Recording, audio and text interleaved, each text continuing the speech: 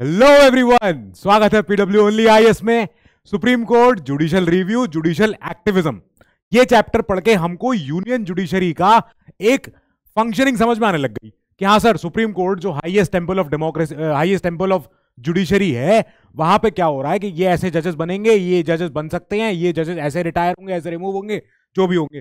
ठीक है judicial review में हमने देखा कि ये जजेस जब जनता की भलाई के लिए और साथ ही अपने सरकार के हर तंत्र को के हर उनके हर एक्शन को संवैधानिक और असंवैधानिक करार करके हमारी डेमोक्रेसी को बचाए रखे हुए हैं। जुडिशियल एक्टिविज्म में हमने जुडिशियल रिव्यू का एक और अगला वर्जन देखा। कि जुडिशरी एक्टिविज्म दिखा रही है एक्टिवेट हो रही है और खुद से एक कदम आगे बढ़ के अपना रोल प्ले कर रही है आ, सामाजिक दायरे में। इसी सामाजिक दायरे में रहते हुए जुडिशरी का अपना एक्टिविज्म दिखाते हुए उन्होंने सुप्रीम कोर्ट ने स्पेशली एक धूमकेतु औज़ार अपनाया जिसका नाम था पीआईएल। अब पीआईएल क्या है, सर? पीआईएल यानी हिंदी में बोलते हैं जनहित याचिका। जनहित, जनता के हित के लिए। कुल मिला इस चैप्टर का सिद्धांत खाली इतना ही है कि यह समझ में आए कि जो समाज का गरीब, वंचित वर्ग है, जो शोषित वर्ग है, जो वर्ग कभी कोर्ट कचहरी के चक्कर लगा नहीं सकता और डरता है कोर्ट कचहरी के पेच से, लफड़ों से तो उनके लिए क्या कोई सहूलियत है? क्या उनके क्या उनके अधिकारों के लिए कोई सुप्रीम कोर्ट जा सकता है? कोई कहीं जा सकता है कि नहीं? हाईकोर्ट हाईकोर्ट तो कुल मिला के यही है कि हाँ सर, कौन जा सकता है और किस काम के लिए जा सकता है? अब मैं एक टीचर हूँ। आदित्य सर आपके लॉ ये आपके पॉलिटी के टीचर है। तो क्या मैं टीचर्स के हित के लिए कोई क्या पीआईएल दाखिल कर सकता हूँ? अगर मैं एक लेफ़्ट हैंडेड हूँ तो क्या मैं लेफ़्ट हैंडेड लोगों के लिए कि मैं, कि भैया मैं तो लेफ़्ट हैंडेड हूँ और मैं देखता हूँ कि लेफ़्ट हैंडेड लोगों को बहुत प्रॉब्लम आती है। शर्ट के बटन लगाने में, कैंची चलाने में, और भी कोई काम करने में गाड़ी वाड़ी चलाने में। तो क्या इस बात के लिए मैं चले जाऊँ सुप्रीम कोर्ट पीआईएल दाखिल करने? नहीं। अब क्या होगा? कौन दाखिल करेगा पीआईएल किन बातों पे पीआईएल दाखिल होगी? ये सब देखना है। अब यहाँ पे जुडिशरी का, ये हमारा लास्ट चैप्टर है यूनियन जुडिशरी का। यहाँ पे हमारी बुक का एक पार्ट खत्म हो रहा है जो अभी तक कंटिन्यू हो रहा था। नेक्स्ट पार्ट में स्टेट गवर्नमेंट शुरू होगी गवर्नर शुरू होंगे council of minister CM VM सब शुरू होंगे। ठीक है तो अभी देखते हैं। क्वेश्चन आया था एक 2020 में। ये जुडिशरी की एक्टिविज्म के ऊपर भी क्वेश्चन है। कि जुडिशियल लेजिस्लेशन आपको याद होगा मैंने लास्ट क्लास में पढ़ाया भी था। जब जुडिशरी सोशल पॉलिसी में कॉन्ट्रीब्यूशन निभाती है तो उसको कहते हैं कि जुडिशरी ने लेजिस्लेशन भी शुरू कर दिया है। अब judicial legislation is antithetical to the doctrine of separation of powers as envisaged in the Indian constitution in this context हमें ये बताओ जस्टिफाई करो the filing of large number of PILs praying for issuing writ issuing guidelines to executive authority बहुत अच्छा question है, बहुत simple सरल question है। अब क्वेश्चन यार, चाहे कितना भी बड़ा आपको चैप्टर पढ़ना पड़े आंसर आपको लिखना है डेढ़ सौ से ढाई सौ वर्ड्स का। चाहे दस नंबर का क्वेश्चन हो, चाहे पंद्रह नंबर का क्वेश्चन हो। अब यही एक पैराडॉक्स है इस एग्ज़ाम का कि आप पढ़ते इतना सारा हो, बहुत कुछ पढ़ते हो, पर आपको क्रंच करके लिखना है इतने से में। ठीक है तो चैप्टर को पढ़ो नोट्स बनाओ, अपने आप इसकी समरी बनाओ और फिर एक क्वेश्चन उठाओ और बोलो कि यार क्या मैं इसको अटेम्प्ट करूँ अभी? क्या मैं रेडी उसको तैयार करने, इसको इसको अटेम्प्ट करने के लिए? तो इस चैप्टर को शुरू करते हैं, यहाँ से देखते हैं। पीआईएल दाखिल करने वाला प्राणी, उसके पास एक चीज़ होनी चाहिए या नहीं होनी चाहिए, इसका ज़िक्र हुआ था पहले। ये क्या है? ये है लोकस स्टैंडी मतलब लोकस स्टैंडी का मतलब होता है कि मेरा क्या रोल है? मेरी क्या गरज है? सिंपल भाषा में, हिंदी भाषा में गरज. बस, कि मुझे क्या पड़ी है? मैं क्यों जाऊँ? मेरा क्या है? अब हुआ ये कि कुछ समय पहले तक ऐसा ऐसा माना जाता था कि देखो, जिसके अधिकार का हनन हुआ हो, जिसके राइट्स इन्फ्रेंज हुए हों, जिसके राइट्स एवरेज एब्रोगेट हुए हों, केवल वही जाए सुप्रीम कोर्ट ऐसे तो हर कोई चल लेगा ऊपर आके. नहीं. तो फिर बाद में इसको चेंज किया गया। हमने देखा हमारी ये जनसंख्या है। मान लेते हैं इतनी है। इससे तो बहुत ज़्यादा है, इससे तो कई गुना है। इसमें से ये एक हिस्सा है जो गरीब, वंचित, पिछड़ा तबका है। अब क्यों, क्योंकि ये ये अपने सोशली इकोनॉमिकली डिसएडवांटेज्ड हैं, ये इनकी पोजीशन बहुत कमज़ोर है तो ये क्या करते हैं? ये खुद नहीं जा पाते हैं कभी भी कोर्ट कचहरी के दरवाजे तक। इन्हें न्याय मिलने की जो प्रक्रिया है, इनके लिए लंबी भी है, इनके लिए महँगी भी है और इनके लिए बहुत पेचीदा है। अब इसी काम के लिए फिर एक व्यक्ति खड़ा हुआ। इसने बोला कि ऐसा है, मैं जा रहा हूँ सुप्रीम कोर्ट आपके नाम पे। I will I will go to court on your behalf ठीक है। तो ट्रेडिशनल रूल यही कहता था, पारंपरिक तरीका यह था कि आप नहीं जाओगे। सॉरी जिनकी प्रॉब्लम है, वही जाए सुप्रीम कोर्ट, वही जा सकता है। अब ये जा नहीं पा रहे हैं इसको जाने से मना कर दिया है। तो होगा क्या फिर ऐसे में? तो अब बोला तो यही कि भैया जो पर्सन है जिसके राइट इन्फ्रेंज हुए हों, केवल भैया सुप्रीम कोर्ट में। ऐसे तो न्याय मिलना, एडमिनिस्ट्रेशन ऑफ़ जस्टिस, बहुत टफ हो जाएगा, बहुत मुश्किल हो जाएगा। फिर आई पीआईएल अब पीआईएल ने ये चीज़ सॉल्व कर दी। पी आई एल ने बोला कि नहीं, तुम जा सकते हो। कौन रोका तुमको? जाओ। और जाओ और अच्छे से इनके लिए बहस करो। अब क्या बोला गया कि ये जो शख्स है, अब ये पब्लिक स्पिरिटेड इंडिविजुअल है, ये एक इसके मन में जनता के हित के लिए कोई अच्छी भावनाएँ हैं। ये इसके अंतरात्मा में जनता का भलाई है। अब, या फिर ये एक सोशल ऑर्गेनाइजेशन भी हो सकता है। हो सकता है ये आदमी ना हो अकेला, ये एक ग्रुप हो। तो या तो ये कोई ऐसा पब्लिक सेंटर्ड सिटीजन है कि साहब, कई सारे ऐसे वकील होते हैं जो खुद ही से कोई अनहोनी होते हुए देखते हैं और कहते हैं, हम जा रहे पीआई दाखिल करने सुप्रीम कोर्ट। कुछ लोग ऐसे होते हैं जो बोलते हैं हमारा, हमने हमने एक संस्था बनाई है, हमने एक ऑर्गेनाइजेशन बनाई है, जिसका रोल ही यही होगा। जैसे एडीआर तो एडीआर आपको आपको संस्था पता है ना एडीआर फुल फॉर्म क्या है भाई? ये तो पता होना चाहिए। एडीआर की तुम रिपोर्ट भी पढ़ते हैं। अब they can move the court for the enforcement of the rights of any person और ग्रुप ऑफ़ पर्सन कि इनका जो इनका जो, इनके साथ जो अनीति हो रही थी, इनके साथ जो अन्याय हो रहा था, हमने बोला कि माना आप कमज़ोर हो आप सामाजिक, आर्थिक, शारीरिक, किसी और तरीके से आपके, आप वंचित हो, आप डिसएडवांटेज आप डिसएडवांटेजियस पोजीशन पे हो, आप समाज के उन वर्गों में से हो, जिसको रोजी रोटी का इंतज़ाम करना होता है, जिसको ये कोर्ट कचहरी के चक्कर जिससे नहीं झेले जाएँगे। तो आप एक काम करो, आप बस खाली हमें अपना नाम, पता, गाँव सब बता दो, हम जा रहे हैं आपके नाम पे सुप्रीम कोर्ट। और हम न्याय आपको दिलवाने के लिए हम हम करेंगे मेहनत। ठीक है? तो इसको हमने बोला कि जब ये लोग जा रहे हैं तो ये जा रहे हैं पब्लिक इंटरेस्ट लिटिगेशन के थ्रू ये सुप्रीम कोर्ट ने ही डिवाइस की है। संविधान में कहीं मेंशन नहीं है कि साहब कोई किसी आर्टिकल में लिखा हुआ हो कि यहाँ पीआईएल दाखिल कर सकता है हर कोई। नहीं नहीं लिखा है। ये सुप्रीम कोर्ट ने अपने आप से ईजाद किया है। अपने आप से इसको बनाया है। ये इन्वेंशन है। अब, कुछ लोग बोलते हैं कि नहीं, सर डिस्कवरी है। यार, एक मुझे एक बात बताओ। लोगों को इन्वेंशन और डिस्कवरी में फ़र्क क्लियर है कि नहीं? ये बता दो मुझे। डिस्कवरी किस चीज़ की होती है? डिस्कवरी होती है जो चीज़ ऑलरेडी मौजूद हो, पर कभी किसी ने देखा नहीं हो। ठीक है? हमने उसको डिस्कवर कर लिया। हमने एक नया रूल हमने एक नई, हमने एक नया जो है नेचर का लॉ डिस्कवर किया है। जैसे Newton laws of motion they were not invention Newton जो न्यूटन के जो लॉज थे मोशन के, वो सारे के सारे प्रकृति में मौजूद हैं। Force equals to mass into acceleration ये चाहे न्यूटन ढूंढे या ना ढूंढे, अब ये लॉ तो चलेगा ही चलेगा। Rate of change of momentum तो ये तो रहेगा ही रहेगा प्रकृति में, चाहे न्यूटन ढूंढे, चाहे आइंस्टाइन ढूंढे, चाहे कोई ढूंढे, हमें फ़र्क नहीं पड़ता। पर इन्वेंशन किस चीज़ का होता है? इन्वेंशन होता है लाइट बल्ब का। लाइट बल्ब कभी जमाने में किसी ने सोचा नहीं था, देखा नहीं था। फिर एक साहब आए। याद है ना नाम? मैं किन की बात कर रहा हूँ? जिन साहब ने दस हज़ार बार उसको रीट्राई किया फेल हुए, तब जाके उन्होंने उसको डिस्कवर किया, तब जाके उन्होंने उसको इन्वेंट किया एक लाइट बल्ब को। तो ये एक फ़र्क है इन्वेंशन और डिस्कवरी में। अब पीआईएल क्या हुई? क्या पीआईएल जमाने में मौजूद थी? नहीं थी। तो पीआईएल की इन्वेंशन हुआ है। पीआईएल को बनाया गया है पीआईएल को ईजाद किया गया है। एक किसी, कोई उसका एग्जिस्टेंस नहीं थी और उसको एग्जिस्टेंस में लाया गया है। फिर उसको हमने बोला कि हाँ सर, ये सुप्रीम कोर्ट ने अपना एक नया एक नया टूल निकाला है जनता की भलाई के लिए, अपनी सहूलियत के लिए। अब क्या है क्या पीआईएल सर? तो पीआईएल हमें समझ में आया जब हमने केस देखा, हमने कहा 1993 में केस हुआ है जनता दल का।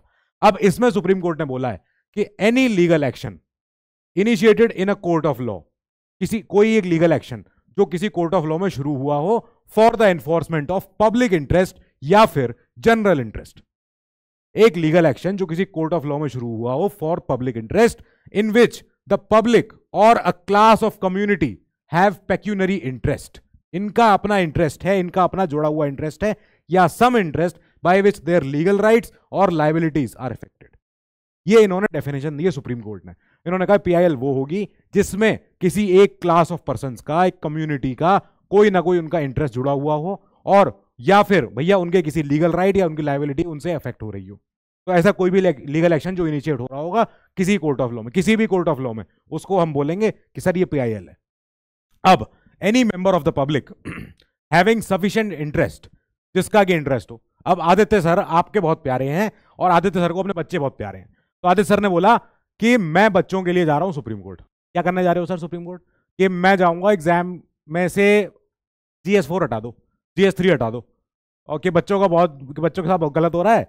जीएस टू के टीचर तो बहुत अच्छे हैं आदित्य सर, बाकी टीचरों को पता नहीं है। तो अब ऐसे में क्या हो रहा होगा? क्या सुप्रीम कोर्ट कहेगी, पागल पागल हो गए हो क्या? तो एग्ज़ाम तो सबके लिए बराबर है। क्या इस बात पीएल दाखिल करने चले जाओगे? कि बच्चों के लिए जीएस थ्री टफ है, इसलिए जीएस थ्री हटा दो। नहीं, वो वंचित वर्ग नहीं है, पहली बात। वो भले ये क्लास ऑफ़ पर्सन है, पर उनका कोई लीगल राइट या कोई जनरल इंटरेस्ट पब्लिक इंटरेस्ट उससे कोई, उसका कोई अहित नहीं हो रहा है। ठीक है? अब any member of of public having sufficient interest member of public माने एनी सिटीजन पब्लिक का कोई भी कोई भी मेंबर कोई भी सदस्य पब्लिक माने जनता। अब, जिन, जिसका कोई सफिशिएंट इंटरेस्ट हो he can approach the court for enforcing the rights of other person and redressal of a common grievance के कई सारे लोग हैं, एक जगह रह रहे हैं अब वहाँ पे क्या हो रहा है? कोई गाँव था। उस गाँव में एक आई कंपनी कंपनी ने बोला कि हम यहाँ से जो है जितने, इतने सारे जो बेघर लोग इतने इतने सारे जो गाँव में जो लोग रह रहे हैं, हम इनको बेघर करेंगे, हम यहाँ पे बनाएँगे एक मॉल अब ये एक प्रॉब्लम है। ठीक है। क्या इसके लिए कोई व्यक्ति या कोई संस्था सुप्रीम कोर्ट या हाई कोर्ट जा सकती है? यस जा सकती है। यहाँ सर, ये ऐसे लोगों का अहित होने वाला है कि उनके अधिकार उनसे छीने जा रहे हैं और उनको बेघर किया जा रहा है, ना उनको मुआवजा मिल रहा है, उनकी जमीनों पर कब्जा हो गया है, उनकी जो खेत खलिहान थे उसमें आग लगा दी गई, जो उनके कैटल था, उसको छोड़ दिया गया उसके सारे जो, अब कई बार क्या होता है, आप तो खैर शहरों में रह रहे हो, कुछ जो ग्रामीण परिवेश के जो लोग होंगे, उनको ये बात पता होगी कि गाँव में कितना मुश्किल होता है किसी गरीब व्यक्ति के लिए न्याय की लड़ाई करवाना, करवा पाना। अगर कोई छोटा गरीब व्यक्ति जो अपने गाँव में रहता है बेचारा अपना रोजी रोटी चला रहा है किसी तरह अपने दो अपने दो फ़सलें उगा पा रहा है उसको अगर कोर्ट कचहरी के चक्करों में फंसा दिया गया वो तो गया। क्या होगा? गाँव के जो दबंग लोग होंगे वो आके उसके घर में तोड़फोड़ कर देंगे। वो उसके जितने खेत खलिहान होंगे उसमें से फ़सल वसल काट देंगे और थक, खड़ी फ़सल में आग लगा देते हैं। साथ ही जितने उनकी गाय भैंस होती बकरी होती हैं उनके सबके रस्से खोल देते हैं। गाय भैंस भग जाती हैं गाँव से बाहर भाग गई जाओ लो जाओ ढूंढो। अब ये सब होता है। ऐसे में कौन जाएगा अपने कोर्ट कचहरी चक्कर काटने जिसपे जिसपे समय जिसपे ना समय है, ना पैसा है? तो ऐसे में कोई मेंबर ऑफ़ पब्लिक जिसके पास सफिशिएंट इंटरेस्ट हो सफिशिएंट रिसोर्सेज हो, इसके अलावा जो ये जानता हो कि साहब लोगों का अहित हो रहा है और आई हैव टू पार्टिसिपेट एक कॉमन ग्रीवेंस है। कई सारे लोग बेघर होने जा रहे हैं कंपनी आ गई गाँव में और वो जाके खाली कर रही है, यहाँ से यहाँ पे मॉल बनाएगी वो। तब ऐसे में वो सफिशिएंट इंटरेस्ट वाली कंपनी या पर्सन जा सकता है। मेंबर ऑफ़ पब्लिक माने यहाँ पे खाली पर्सन नहीं पर्सन या इंडिविज या पर्सन और ग्रुप दोनों चीज़ हो सकती है। ठीक है, अब एक ग्रुप ऑफ़ पर्सन भी मेंबर ऑफ़ पब्लिक है। नाउ पीआईएल का तभी इसलिए नाम पढ़ाया गया है सोशल एक्शन लिटिगेशन एस या फिर सोशल इंटरेस्ट लिटिगेशन या क्लास एक्शन लिटिगेशन के एक सामूहिक लोगों के की भलाई के लिए, उनके अहित को रोकने के लिए हमने हमने दाखिल करी है पीआईएल और सुप्रीम कोर्ट जा रहे हैं, हाई कोर्ट जा रहे हैं, कहीं भी जा रहे हैं, हम जाके इनको न्याय दिलवाने के लिए हम काम करेंगे। ठीक है, ये हो गई बात। अब इसके आगे चलो। ये आई कहाँ से सर? ये क्या हो क्या रहा है इसमें? तो ये आई है ऑफ़ कोर्स हमारे जुडिशरी की सारी जितनी जितनी ज़्यादा जो इतनी, जो ग्रंथ बने हैं, कई सारी डॉक्ट्राइन जो आई हैं, वो आई हैं ऑफकोर्स यूएस से। तो ऑफकोर्स पीआईएल भी उसमें से एक थी। पीआईएल 1960s में आई थी। यहाँ पे क्या हुआ था कि पहली बार डिज़ाइन किया गया था to provide legal representation to previously unrepresented groups and interest US में अभी कई साल तक अभी कुछ ही साल कुछ ही दशक पहले तक क्या होता था? बहुत ज़्यादा रेशियल डिस्क्रिमिनेशन होता था। रेशियल खासकर रेश, racial and ethnic racial and ethnic minorities का। ये क्या होते हैं सर? रेशियल माने नस्ल भेदीपना तो वहाँ की अब वहाँ पे क्या है? वहाँ पे आ, गोरे लोग भी हैं वहाँ पे वहाँ पे सांवले लोग भी हैं वहाँ पे ब्लैक्स भी हैं। अफ्रीकन अमेरिकन बोलते हैं उनको।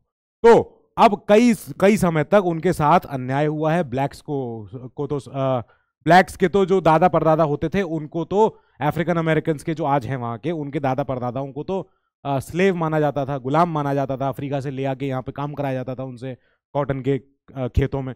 तो वहाँ पे बहुत ज़्यादा भी डिस्क्रिमिनेशन है और वहाँ पे बहुत ज़्यादा, जैसे हमारे जातिवाद है, ऐसे वहाँ पे रेशियल और एथनिक माइनॉरिटीज़ का डिस्क्रिमिनेशन वहाँ भी हुआ एक्सप्लोटेशन वहाँ भी हुआ है। तो इन लोगों का रिप्रेजेंटेशन करने के लिए 1960 में सुप्रीम कोर्ट ने पहली बार ईजाद किया। लाओ पीआईएल अब लाओ, इनसे इनसे बात करेंगे। Ordinary market place for legal services fail to provide such services to these groups, to significant segments of the population and to significant interest नहीं करते हैं, करते ही नहीं थे। अब क्या हुआ? जैसे कौन से ग्रुप हैं ये? पुअर एनवायरमेंटलिस्ट या फिर कंज्यूमर्स रेशियल एथनिक माइनॉरिटीज बाकी सारे सारे सारे एटसेट्रा एटसेट्रा इन सब तरीके के लोगों को, वहाँ पे होमलेस भी बहुत हैं। कैलिफ़ोर्निया में तो बहुत ज़्यादा होमलेस हैं। फिलाडेल्फिया में बहुत ज़्यादा होमलेस हैं। अब, इन लोगों के लिए ये लोग कहाँ जाएँ? ये किसको, ये कौन इनको रिप्रेजेंट करेगा? कौन इनको अपना मानता है? कोई नहीं मानता। यूएस में तो कहावत भी है there is no such thing called free lunch वहाँ कुछ नहीं है फ्री वहाँ हर चीज़ का बिल आता है। हर चीज़ का आपको पेमेंट करना पड़ेगा। अब, ये ऐसे कहीं वहाँ पे एनवायरमेंटलिस्ट बहुत एक्टिवेटेड बहुत एक्टिवेटेड रहते हैं। हमेशा वहाँ पर्यावरण की बातें होती हैं। हमेशा वहाँ पे अपने कार्बन फुटप्रिंट को कंट्रोल करने की बात होती है। कि साहब, ज़्यादा ज़्यादा कार्बन फुटप्रिंट नहीं होना चाहिए। हमें, क्योंकि विकसित देश है, इसलिए वहाँ के लोग ज़्यादा आगे सोच सकते हैं समाज के लिए, पर्यावरण के लिए, धरती के लिए, जलवायु के लिए। हमारे यहाँ अभी तो हम विकासशील हैं, अभी तो हम विकास कर रहे हैं, इसलिए हमारी मजबूरियाँ हैं कि हम इंडस्ट्रियाँ लगाएँ, फैक्ट्रियाँ लगाएँ पॉल्यूशन होगा, लेकिन उसको ऑफसेट करेंगे किसी ना किसी तरह, पेड़ वेड़ लगा के। तो कई तरह के लोग हैं यहाँ पे, आप देख रहे हो कलर के हिसाब से। खैर, ये डिस्क्रिमिनेशन बहुत खराब था इन लोगों के लिए, बहुत इन्होंने झेला है, और अब इनके ग्रुप्स पे काम करने के लिए वहाँ पे एक्टिवेट हुई संस्थाएँ। या स्पेसिफिक ऐसे लोग तो सुप्रीम कोर्ट की, वहाँ की सुप्रीम कोर्ट ने कहा, आओ, देखते हैं। भले ही वो लोग नहीं आ पा रहे हैं, भले ही वो लोग इस अशिक्षित हैं, भले ही वो लोग नहीं इतना ज़्यादा समझते हैं बातें, लेकिन तुम आ जाओ, अगर तुम समझते हो तो उनकी प्रॉब्लम। लाओ, तुम्हारे मुँह से सुन लेते हैं। लोकस स्टैंडी भले ही तुम्हारा नहीं है, लोकस स्टैंडी तुम्हारी, भले ही तुम्हारी गरज नहीं है, उनके ऊपर बीत रही है, पर तुम आगे बता दो सारी प्रॉब्लम, हम सुन लेंगे। ये होना शुरू हुआ। हमारे यहाँ भी, फिर हमारे यहाँ क्या हुआ? हमारे यहाँ केस हुआ। मुंबई कामगार सभा वर्सेज अब्दुल थई। तो बहुत पहले का केस था ये। यहाँ पे जस्टिस कृष्णा अय्यर जी ने बोला था कि पीआईएल जो है ये बहुत ही इंपॉर्टेंट रोल प्ले करेगी in ensuring that the legal system served in the interest of the poor and the oppressed कि ये जो कि ये जितने जो हमारी कामगार सभाएँ हैं ये जितने लोग हैं ये लोग इनके लिए जो आ, इनको जो अन्याय हो रहा है इनके साथ अब इनके इंटरेस्ट में पुअर लोगों के इंटरेस्ट में या ऑपरेस लोगों के इंटरेस्ट में पीआईएल आएगी। हम करेंगे इसको इसको implement now he emphasized that PIL was not a substitute for traditional litigation, but rather to complement it. कि PIL का मतलब ये नहीं है कि अब नॉर्मल रिट पेटिशन को आप छोड़ ही दो रिट पेटिशन जो नॉर्मल तरीके से आप जाते हो किसी अपने अर्जी लेके कि हमारे अधिकारों का आनंद हुआ है, हमको हमको जो है न्याय दिलवाओ। तो भले ही रिट पेटिशन अपना एक नॉर्मल प्रोसीजर है, पर उसके अलावा एक पीआईएल है जो उसको कॉम्प्लीमेंट करती है, उसको सप्लीमेंट नहीं करती, उसको सब्सटीट्यूट नहीं करती है। अब तीन साल बाद एक केस हुआ। इसका नाम, केस का नाम था हुसैनारा खातून वर्सेस स्टेट ऑफ़ बिहार। इसमें एक बहुत बड़ा नाम है इन मैम का। अगर आपको फ़ोटो से कुछ नाम पता हो, कोई अगर लीगल कम्युनिटी के, कोई अगर लीगल स्टडीज़ के कोई छात्र हो तो वो इनका नाम ज़रूर जानते होंगे। अब इन मैम का बहुत बड़ा सम्मान है, क्योंकि इन्होंने क्या किया था? इन्होंने बिहार के सरकार के खिलाफ बहुत बड़ा केस लड़ा और जीत भी गए थे। नाउ, कपिला हिंगुरानी जी, इनका नाम है। खैर तो इन्होंने क्या किया? इन्होंने एक आर्टिकल पढ़ा कि चालीस हज़ार से ज़्यादा ऐसे लोग हैं जो अभी बिहार की जेलों में सड़ रहे हैं और उनके ऊपर केस चल रहा है। इन्होंने जाके केस फ़ाइल किया और चालीस हज़ार से ज़्यादा अंडर ट्रायल्स को इन्होंने ये सक्सीड हुए उनको रिलीज़ करवाने में। ठीक है तो इनको बोला जाता है हमारे जूरिस्प्रूडेंस में कि ये जो हैं, ये मदर हैं पीआईएल की। अब सुप्रीम कोर्ट ने जब ये केस सुना था तो पीएन भगवती जी हमारे चीफ जस्टिस थे। फिर इन्होंने क्या बोला? कोर्ट ने बोला कि यस वी नो कि आपका कोई लोगो स्टैंडिंग नहीं है, आपका कोई गरज नहीं पड़ रही है, ना आपके ऊपर कोई कुछ बीती है, पर आप दाखिल करो पीआईएल आप केस लड़ो। We allow you to pursue the case in which you have no locus standi and making plea and making PILs a permanent fixture in Indian jurisprudence इन्होंने उस दिन शामिल कर दिया। उन्होंने कहा, तीन साल पहले भी जस्टिस कृष्ण अय्यर जी ने भी यही बात बोली थी। कपिला हिंगुरानी जी को फिर हमने बोला गया फिर हमने बोला मदर ऑफ़ पीआईएल्स ये बोली गई।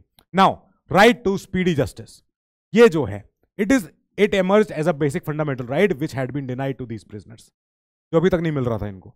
राइट टू स्पीडी जस्टिस अभी तक सबके सब बैठे हुए थे कि कब जाने कब नंबर आएगा, कब केस लिस्ट होगा।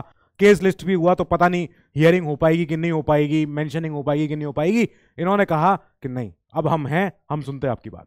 फिर केस आया अगला SP Gupta versus union of India यहाँ पे it was presided over by justice P N Bhagwati ji. Again यहाँ पे इन्होंने बोला कि हम एक पीआईएल को एक नई ऊंचाइयों पे लेके जाना चाह रहे हैं।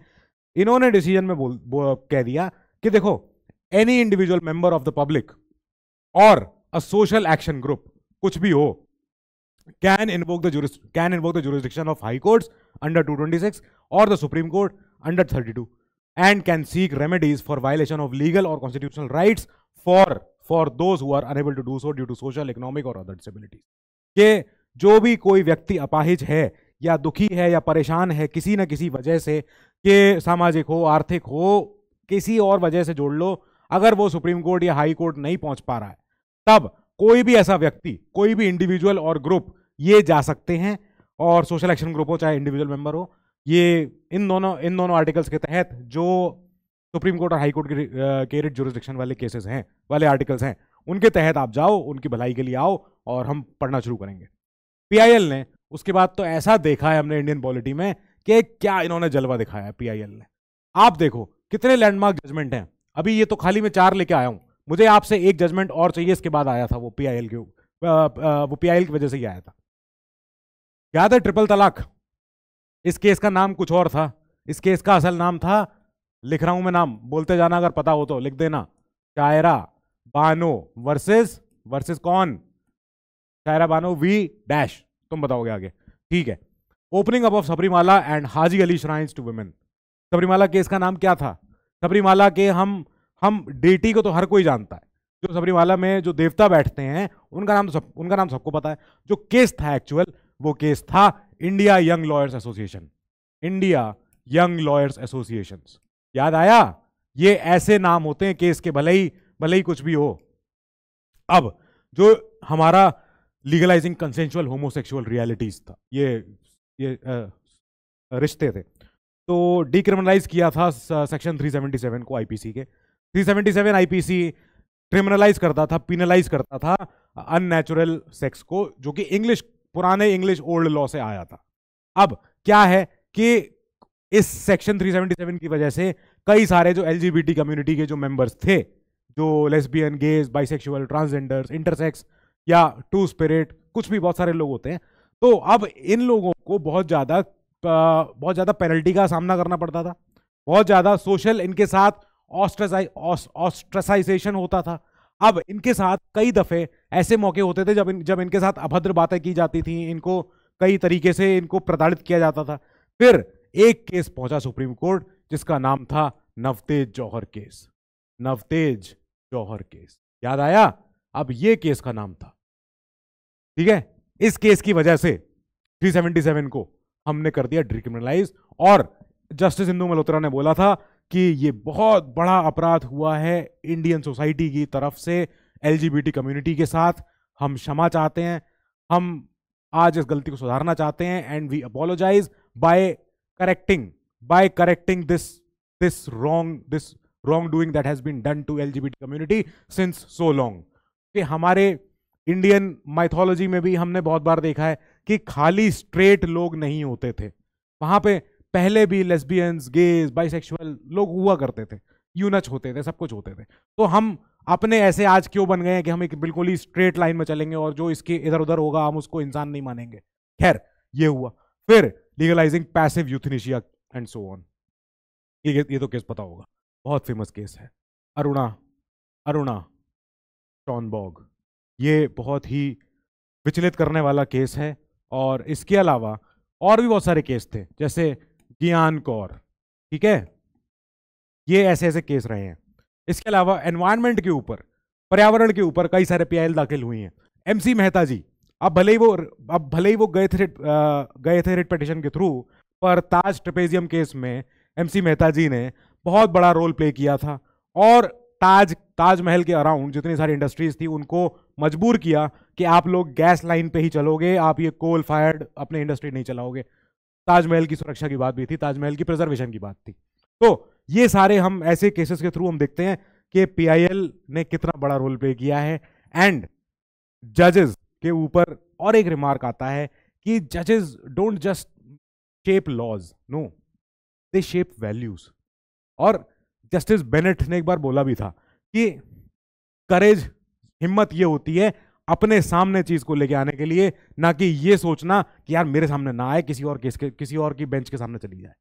मैं नहीं डील करूँ नो यहाँ पे जो जस्टिस थे, इन्होंने रिमार्केबली अपने ओपिनियन रखी है, अपना स्टैंड रखा है और हमारी सोसाइटी को अग्रसर किया है प्रोग्रेसिव थिंकिंग की तरफ़।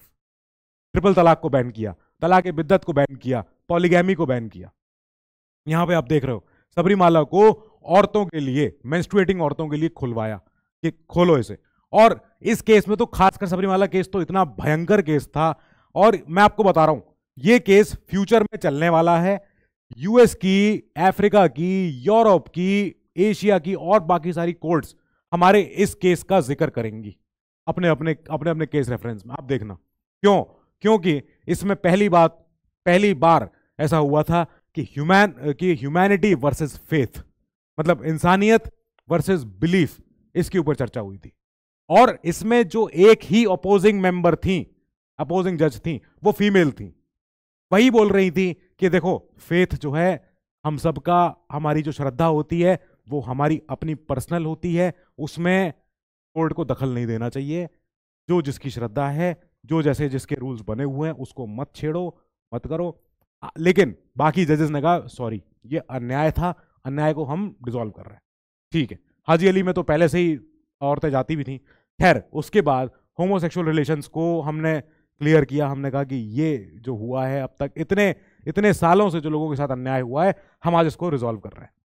अब, इसके बाद पैसिव यूथिनीशिया ये अरुणा शॉनबॉग के केस को तो मैं ज़िक्र करना भी नहीं चाहूँगा, इतना दर्दनाक केस है। अब, ऐसे केस में हमारे यहाँ हमारे यहाँ सिचुएशन ये है कि हम पैसिव यूथिनीशिया को अलाउ करते हैं केस बाय केस मेरिट पे। एक्टिव यूथनीशिया को अभी भी नहीं करते। यूथनीशिया माने कि मैं अपने आप से मांग रहा हूँ कि मुझे इस अब और इस ज़िंदगी में नहीं रहना है, मुझे जाने दो। तो ये हमारे यहाँ, क्योंकि हमारे इंडियन माइथोलॉजी में बोला जाता है, जब आप किसी को जान नहीं दे सकते हो तो आप जान ले भी नहीं सकते हो। आप कैसे किसी के जीवन का फैसला कर सकते हो? खासकर ह्यूमंस का। तो यहाँ पे जुडिशरी ने अपना रोल निभाया है। पीआईएल दाखिल हुई। पीआईएल दाखिल होने के बाद जुडिशरी ने उसको पढ़ा है। सामाजिक हित में ऐसे फैसले दिए हैं। ठीक है, अब आगे चलते हैं।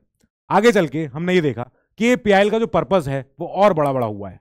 रूल ऑफ़ लॉ का विंडिकेशन करना। विंडिकेशन माने उसको प्रूफ करना, उसको एब्सोल्यूटली उसको स्टैंप करना कि बिल्कुल सही है। Facilitating effective access to justice to the socially and economically weaker section of the society ये जो ये अब वही जो अपने वंचित वर्ग हैं, उनको इफ़ेक्टिव एक्सेस टू जस्टिस उनको फैसिलिटेट हो जाए, उनको मिल जाए। Meaningful realisation of fundamental rights ये करवाना है। अगर हमारे फंडामेंटल राइट वंचित हुए और हम कोर्ट नहीं जा पा रहे हैं तो पॉइंट ही क्या है फिर इनका? फिर क्यों इतने बड़े बड़ी पार्ट थ्री और इतना बड़ा चौड़ा ना, आप बातें करते हो, आदित्य सर छोड़ दो फिर तो। तो इसीलिए फंडामेंटल राइट्स जब मीनिंगफुल तब कहलाएँगे जब उनका इन्फोर्समेंट किसी तरह हो पाए। वो हो रहा है पीआईएल के थ्रू भी। नाउ आगे चलो। अब पीआईएल के और फीचर देखो। पहला feature to bring justice within the reach of the poor masses who constitute the low visibility area of humanity ऐसे कई ऐसे कई लोग, ऐसे कई ऐसी कई कम्युनिटीज जो ह्यूमैनिटी के लो विजिबिलिटी एरिया में रहती हैं।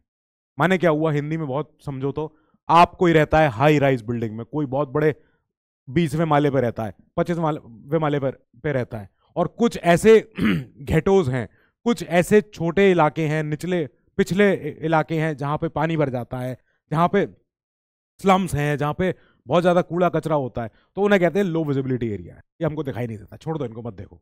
अब इनकी इन्हीं लोगों की भलाई के लिए। ऐसे पुअर मासेस जो कि हमारे लो विजिबिलिटी एरिया में रहते हैं। फिजिकली भी और सोशली भी। अब ये तो खैर फिजिकली सामने दिख रहा है, क्योंकि वंचित वर्ग, क्योंकि एक ऐसे घेटों में रह रहे हैं जहाँ पे स्लम है, जहाँ पे गंदगी है, जहाँ पे अच्छे स्कूल नहीं है हॉस्पिटल नहीं है।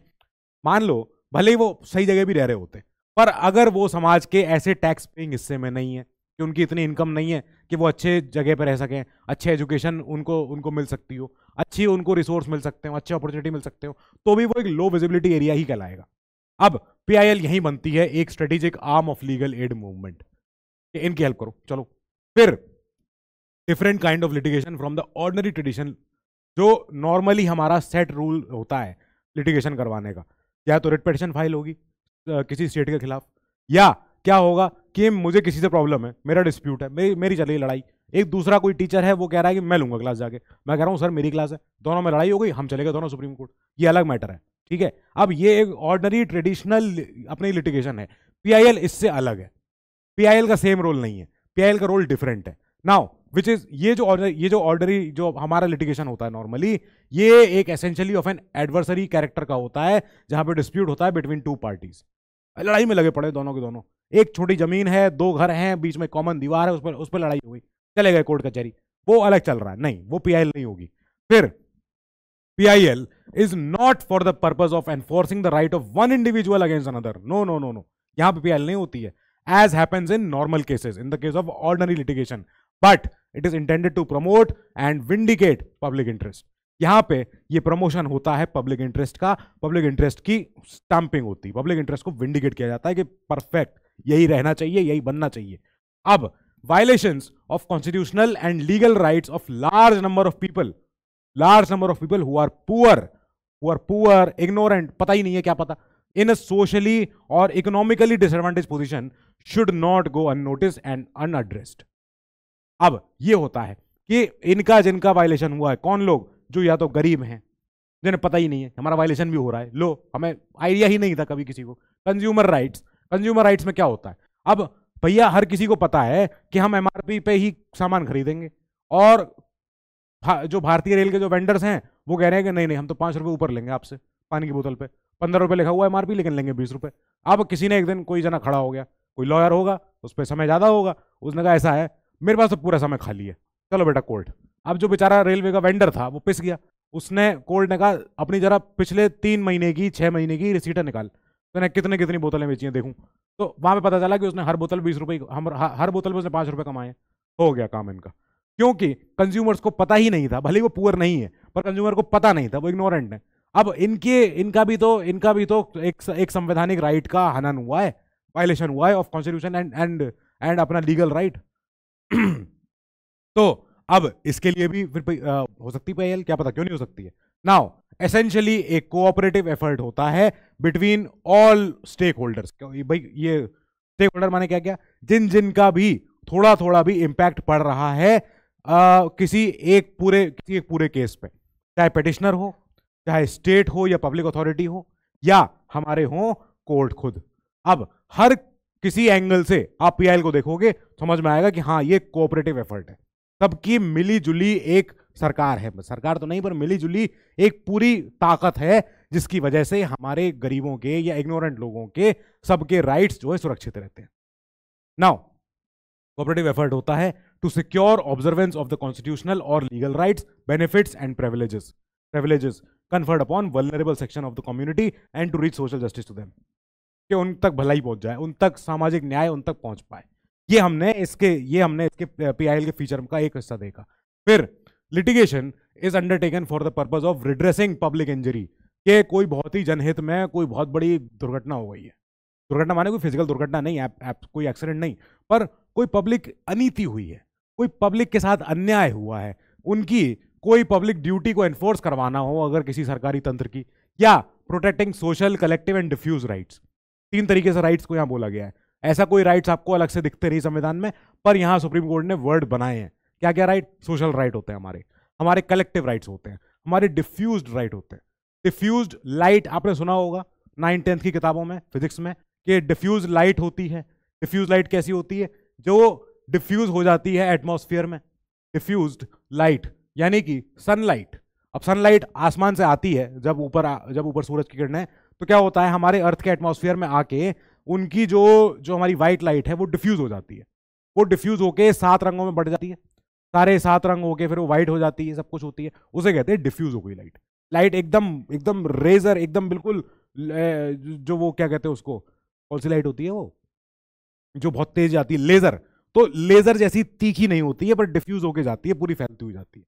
अब ऐसे ही डिफ्यूज राइट भी होते हैं। डिफ्यूज राइट जो स्प्रेडेड होते हैं पूरे समाज में। ऐसे कलेक्टिव राइट ऐसे सोशल राइट ऐसे इंटरेस्ट या विंडिकेशन ऑफ़ पब्लिक इंटरेस्ट इन्हीं की भलाई करने के लिए हम काम करेंगे। अब role held by the court court is more assertive than in traditional actions it is creative in nature rather than passive and it and assumes a more positive attitude in determining acts यहाँ पे हर बार आप देखोगे कि court ऐसे नहीं बोलेगी कि अच्छा ठीक है, अगर ऐसी, ऐसा केस है तो आप एक काम करो सरकार से अपील करवा लो, सरकार से बात कर लो। नो पीआईएल में क्या होगा? पीआईएल में कोर्ट बहुत असर्टिव होगी। कह के कह के करवाएगी काम अपनी के पीआईएल आई है बेटा, दो लाख लोग परेशान हो रहे हैं आपके इस, आपकी पॉलिसी से। कब सॉल्व करोगे इसको? और कब तो करोगे करोगे, ठीक है, इसके पहले हमको हफ़्ते भर में पहले अपनी रिपोर्ट दो क्या आपने ऐसा काम किया क्यों था। यहाँ पे फिर कोर्ट अपना पैसिव नेचर छोड़ के एक्टिव नेचर पे काम करेगी क्रिएटिव नेचर पे काम करेगी। बिल्कुल एक्शन में आ जाएगी। जुडिशियल एक्टिविज्म निभाया जाएगा फिर यहाँ पे। और एक पॉजिटिव एटीट्यूड के साथ जनता की भलाई के लिए जनहित में रोल निभाएगी। नाउ पीआईएल में भले ही though in PIL court enjoys a degree of flexibility unknown to the trial of traditional litigation जैसा अपना होता है। वहाँ पे whatever the procedure adopted by the court court भले कोई प्रोसीजर ले ले it must be procedure known to judicial tenets and characteristics of judicial proceedings कि भले पीआईएल जो है थोड़ी एक फ्लेक्सिबल नेचर की होती है। पीआईएल आई, जज ने रात को पढ़ी सुबह वकील से पूछा हाँ भाई, पीआईएल का मैटर ठीक है सब्सटैंटिव है, ये क्या ज़रूरी है? अब वकील जवाब देगा, वकील कहेगा हाँ सर, बिल्कुल, देखो, मैंने पूरी आपको पीआईएल में लिख के दिया है, सारे के सारे सबूत उसमें जोड़ दिए मैंने पहले से ही। जज कहेगा हाँ बात तो सही कह रहे हो तुम। एक काम करते हैं, इसको दोबारा सेकंड रीडिंग के लिए रख लेते हैं, तब तक हम अपोनेंट पार्टी से भी इनके जवाब मंगवा लेते हैं। तो ऐसे में क्या हुआ कि एक जुडिशियल जो टेनेट्स पहले से रेडी थे, जो पहले से टेनेट्स माने परंपरा कह लो सॉर्ट ऑफ़ इनके ट्रेडिशन कह लो, इनके कस्टम्स कह लो इनके इनके प्रोवेनेंस कह लो प्रोवेनेंस भी होता है। तो अब जो पहले से प्रोवेनेंस सेट हैं, वो फॉलो ज़रूर हो। ऐसा ना हो कि कोड अपना रूल वूल सब भूल के ही पीआईएल पे ही लग जाए। पीआईएल कहते पीआईएल आइए, वाह, बड़ी अच्छी पीआईएल बहुत अच्छी इंग्लिश है, लाओ, ठीक है। सुबह सुबह दाखिल हुई पीआईएल शाम को न्याय मिल गया। ऐसा जल्दी पीआईएल ना हो जाए, ऐसा भी कोई न्याय ही ना बटने लगे समाज में। नहीं पूरे जो आपके तौर तरीके हैं, जो जो आपके कैरेक्टरिस्टिक है जुडिशियल प्रोसीडिंग्स के, वो फॉलो हो। चाहे फ्लेक्सिबिलिटी आप मेंटेन रखो, अच्छी बात है, करते रहो। Now there is no determination on adjudication of individual rights नहीं है। इनका जुडिशियल एक्टिव जो जो हमारे, जो इंडिविजुअल राइट्स होते हैं, इनका कोई एडजुडिकेशन यहाँ पे कैसे होगा? जब हम यहाँ मना कर चुके हैं पिछले स्लाइड पे कि सर यहाँ पे जो है प्राइवेट झगड़ों को यहाँ एंटरटेन नहीं किया जा रहा है, किसी के प्राइवेट अगर मैटर हैं, किसी ने कोई अगर एक, कोई अगर एक टीचर स्टूडेंट के बीच में झगड़ा हो गया किसी बात पे तो क्या उस क्या उस पर चली जाएगी चली जाएगी? कि नहीं नहीं टीचर को क्यों मारा गया? ये टीचर ने क्यों मारा गया बच्चे को? ये सब नहीं होगा। अब, आगे चलो। यहाँ पे कुछ इश्यूज़ आए हैं हमारे सामने पीआईएल के। क्या क्या आए पहली बात तो ये कि जो पीआईएल है, वो कई लोगों ने दाखिल करी है for political gain for personal gain जैसे जॉली एलएलबी पिक्चर में जब अरशद वारसी ने ये पीआईएल दाखिल करी थी, जगदीश हमारे बाबूजी ने तो क्यों करी थी? क्योंकि उनको उस समय जिल्लत महसूस हो रही थी। उनको अपनी ही कोर्ट कचहरी में लोग उनको ऐसे देख रहे थे कि देखो कितना खराब आदमी है। और कई बार हमने देखा है कि जो छोटा काम कर रहा है, वो कुछ नहीं कर रहा है। जॉली एलबी टू में जब अक्षय कुमार ने पीआईएल दाखिल करी थी तो उनके ऊपर भी ऐसे आरोप लगे थे कि इन्होंने तो देखो पैसा ले लिया, कितने खराब आदमी है, ये सब तो लोगों ने अपने पर्सनल गेन, अपने पॉलिटिकल गेन, इनके सबके लिए अपने यहाँ पे दाखिल कर लिए हैं, अपने पीआईएल या फिर जो लीगल सिस्टम में ही डिले हो रहे हैं, जिनकी वजह से कई बार हियरिंग टल जाती है, तारीख मिल जाती है अगली, रह गई, अगली बार देख रहे हैं डिले हो गया है, सरकार से जवाब नहीं आया है, कुछ ना कुछ हो रहा है लैक ऑफ़ इम्प्लीमेंटेशन लो, भले ही आंसर आ भी चुका है पीआईएल ने भले ही जो क्या है कि न्याय दे दिया है, सब कुछ हो गया है, लेकिन इंप्लीमेंट ही नहीं हुआ। पुलिस को पता ही नहीं है, सुप्रीम कोर्ट ने दे रखा है ऑर्डर उनको लोकल पुलिस को कुछ आइडिया ही नहीं है। वो अभी तक कई कई पुलिस तो ऐसी होती है डिजी लॉकर को नहीं मानती है कि इसमें डीएल हम नहीं मानते डीएल हाथ में दिखाओ पहले। अब हम कह रहे हैं कि सर सर, ये वैलिड है। डिजी लॉकर में अगर कोई डॉक्यूमेंट पड़ा हुआ है, वो वैलिड है। वो कह रहे हैं, हमें हमें, हम नहीं जानते, चालन काट दिया। लो तो उन्हें पता ही नहीं है, उन्हें उन्हें लैक ऑफ़ इम्प्लीमेंटेशन कर दिया उन्होंने। उन्होंने इम्प्लीमेंटेशन का लैक किया है। अब overburden of the judiciary already साढ़े तीन से पाँच करोड़ केस पेंडिंग है। उस पर टल रही है पीआईएल पीआईएल और डल रही है। खूब लोग डाल रहे हैं पीआईएल ये नुकसान हो रहा है, ये प्रॉब्लम हो रही है इश्यूज़ इसके पीआईएल के। अब पीआईएल का स्कोप 99 इसमें एट में एक बलोवा करके केस था तो सुप्रीम कोर्ट ने इसमें अपनी गाइडलाइन दी, फिर उसके बाद इसके पीआईएल के लिए, फिर 1993 में, फिर 2003 में इन गाइडलाइंस को मॉडिफाई किया है। इन्होंने बोला है कि ऐसे वाले मैटर्स में ही ऐसे 10 पॉइंट हैं, अगर इनमें से किसी एक के ऊपर आया है कोई पीआईएल तो हम एंटरटेन करेंगे अदरवाइज़ एंटरटेन नहीं करेंगे। कैसा? बंधुआ मजदूरी मैटर्स गिरमिटिया मजदूरी। जिसे कहते हैं इंडेंचर्ड सर्विट्यूड अगर बॉन्डेड लेबर के ऊपर कोई अगर मैटर आया है, हम सुनेंगे। नेग्लेक्टेड चिल्ड्रन जिन बच्चों को नेग्लेक्ट किया जा चुका हो। चाहे वो ह्यूमन ट्रैफिकिंग के शिकार रहे हो, चाहे अच्छे घर के बच्चे, पर उन्हें अगर अच्छी एजुकेशन नहीं मिल रही हो, या अच्छा खान पान नहीं मिल रहा हो, अच्छी एजुके अच्छा रहन सहन खाना सब कुछ नहीं मिल रहा है वो नेग्लेक्शन वो नेग्लेक्ट का पार्ट काउंट होगा, उस पर आ जाएगी पीआईएल या फिर non payment of monthly minimum wages to workers अगर किसी को न्यूनतम वेज जो उसकी न्यूनतम उसकी आय है, जैसे मनरेगा की योजना है तो वो क्या कहती है कि हम न्यूनतम आय दे रहे हैं राइट टू बेसिक जॉब हम एक राइट टू एम्प्लॉयमेंट दे रहे हैं लोगों को छह महीने के लिए साल में हम उनको बेसिक मंथली इनकम देंगे, चार सौ रुपए दिहाड़ी के हिसाब से, बारह हज़ार महीना के हिसाब से कि लोग अपने जी खा सकें, जिस जिसको काम की ज़रूरत है उसको देंगे। ठीक है? अगर ऐसे लोगों को उनका मिनिमम वेज वो भी ना मिले, या वर्कर्स का हो एक्सप्लॉयटेशन दबा के वर्कर्स के साथ बिल्कुल उनका शोषण हो रहा हो, उनके उनके उनसे काम कराया जा रहा हो बारह बारह घंटे तो लो, क्या उसमें क्या करें? या कैजुअल वर्कर्स होते हैं, कई ऐसे वर्कर्स जो गिग इनकम पे काम करते हैं गिग माने होता है गिग इनकम ये बताना ज़रूरी है। ये आपके सोशल इश्यूज़ और गवर्नेंस चैप्टर में खासकर काम आएँगे। तो गिग वर्कर्स गिग वर्कर्स कौन होते हैं? गिग वर्कर्स होते हैं कई ऐसे लोग जो प्रोजेक्ट टू प्रोजेक्ट काम करते हैं। आज काम मिला तो ठीक है, कल नहीं मिला तो कोई बात नहीं। ऐसे लोग, यानी कि हमारे जोमेटो स्विगी फ़ूड डिलीवरी वाले ओला ओला ऊबर वाले जो, ये जितने एम्प्लॉय होते हैं। इनको हम बोलते हैं कि ये गिग इनकम कर रहे हैं। इनकी कमाई गिग से आ रही गिग माने होता है, आज जॉब मिली है तो ठीक है, कल को नहीं मिली तो पता नहीं क्या। ठीक है, बस। तो ऐसे वो, ऐसे लोगों को बोलते हैं कैजुअल वर्कर्स जो हमारे इनफॉर्मली हमारे सेक्टर में काम करते हैं अनऑर्गेनाइज सेक्टर में काम करते हैं। अब, यहाँ पे, और इनकी complaints of violation of labour laws except in individual cases किसी एक आधा वर्कर कोई प्रॉब्लम है, वो अलग से खड़ा होकर कह रहा है या मैं, मेरे साथ दुर्घटना हुई है, मेरे साथ मेरे मारपीट हुई है। तो उसकी पे नहीं एंटरटेन होगी। उसके लिए फिर यूनियंस हैं। उसके लिए फिर अलग हमारे हमारे पूरे कंपनी ट्राइब्यूनल्स हैं। उसके लिए लेबर लॉ का पूरा अपना बही खाता पूरा बना हुआ है। लेबर लॉ में कई सारे ऐसे प्रावधान हैं, जहाँ पे इंडिविजुअल किसी केसेस की कहाँ पे उसकी, कहाँ पे उसका न्याय मिलेगा उसके बारे में। फिर पेटिशन फ्रॉम जेल्स कई बार जेल्स में बहुत अन्याय होता है। कस्टडी के दौरान बहुत कुछ हो जाता है।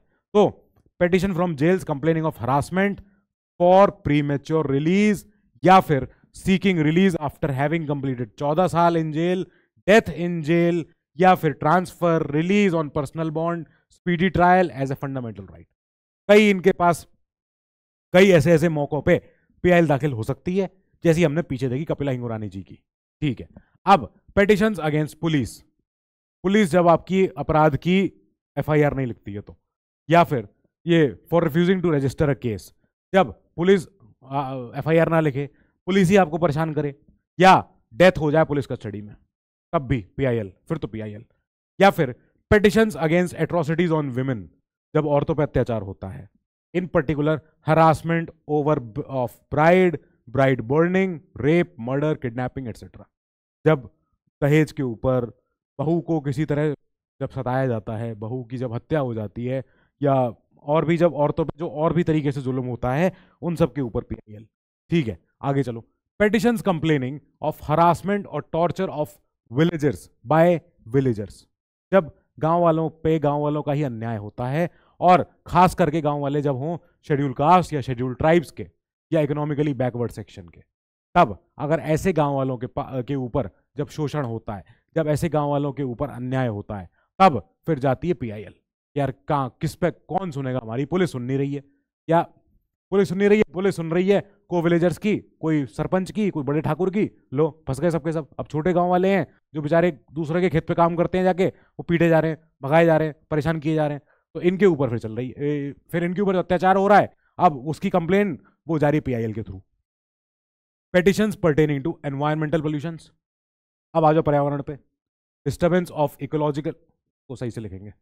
Disturbance of ecological balance drugs food adulteration maintenance of heritage and culture या फिर antiques forest and wild life and other matters of public importance ये सारे जलवायु वाले मैटर पर्यावरण के ऊपर मैटर हमारी जितने हमारे जंगली पशु पक्षी हैं इनके ऊपर मैटर जितनी हमारी धरोहर है, विरासत है, ताजमहल, कुतुब मीनार, बृहदेश्वर मंदिर, इन सब के ऊपर, या फिर पेटिशंस फ्रॉम रायट विक्टिम्स जो दंगा के पीड़ित लोग होते हैं, या फैमिली पेंशन के लोग, इन्हीं ऐसी दस मैटरों पे हमारी पीआईएल सुनी जाएगी। सुप्रीम कोर्ट ने ये बोला था, बलोचा केस में। कहा गया केस?